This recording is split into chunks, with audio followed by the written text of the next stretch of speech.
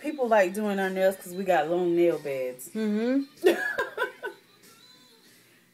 I never understood it until